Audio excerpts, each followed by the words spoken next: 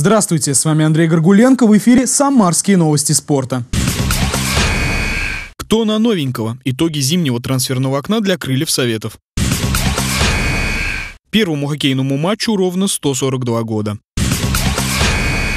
В Монреале 3 марта 1875 года состоялся первый официальный матч по хоккею на катке «Виктория». Каждая из команд состояла из девяти человек, играли деревянной шайбой, а защитную экипировку позаимствовали из бейсбола. Тогда впервые на льду поставили хоккейные ворота. За 142 года хоккей претерпел множество изменений, чтобы стать той игрой, которую многие знают. На современный вариант хоккея можно посмотреть в эти выходные в Ледовом дворце спорта ЦСКА ВВС. Одноименный клуб проведет две заключительные встречи регулярного чемпионата ВХЛ. В гости в Самару приедет хоккейный клуб «Ростов». Начало игр в 17 часов.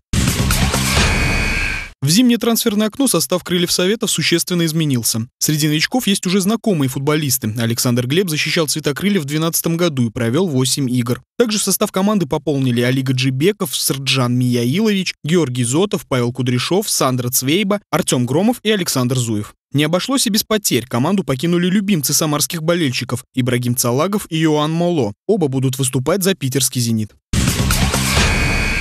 Это все новости спорта к этому часу. Больших побед вам. Удачи!